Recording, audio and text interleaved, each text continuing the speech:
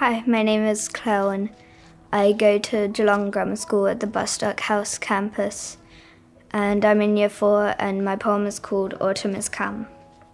As flame-coloured leaves fall, as grey clouds seethe in the sky, as the weather coldens from summer heat, autumn is come. As the country turns away from the sun, as breezes whip through emptying branches, as the dampening air presses against you, autumn is come.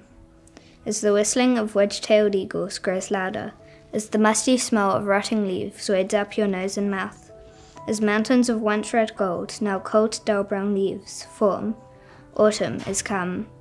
As steps are muffled by leafy ground, as flames flicker at the bottom of chimneys, as scarves are wrapped around necks, autumn is come. Thanks for listening.